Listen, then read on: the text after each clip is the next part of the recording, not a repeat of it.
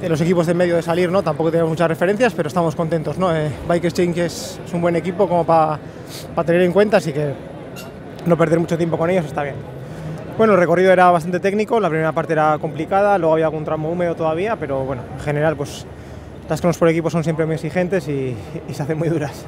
Miquel, le hablamos de, de Colombia, el, trabajo de Santiago y trago el día de hoy, ¿cómo lo vio en una contrarreloj por el equipo que pues él con su corta edad pues pocas son las que ha corrido?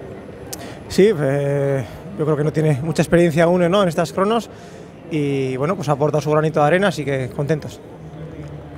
Gracias.